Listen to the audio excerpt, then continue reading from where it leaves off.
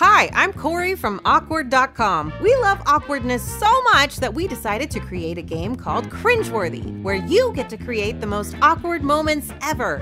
The gameplay is easy. First, one player starts as the Cringe Master and chooses a situation card. These are relatable, everyday situations like, I go to the doctor's office and. Then, the other players select the cringe card they feel best completes the most awkward scenario for the cringe master and reads their card aloud. With feeling! These contain captions like, You can't stop coughing up deli meats.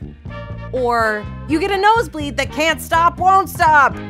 Or, You spontaneously combust. After everyone delivers their captions, the cringe master selects the most cringeworthy combo, and that player wins the round. But the cringe factor doesn't end there. If a player happens to pull an insert name card, they get the chance to humiliate another player by inserting them into the cringe. Like, Greg walks to the corner of the room and takes a dump while maintaining perfect eye contact with you. Not only can you win the round at Greg's expense, but you leave everyone with a disturbing image of Greg. It's a win win! You can play Cringeworthy with your friends, family, over video chat, or even awkwardly by yourself.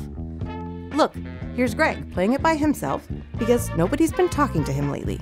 With thousands of possible pairings, the awkward fun is never ending. So if making other people uncomfortable is your thing, you might just be cringeworthy.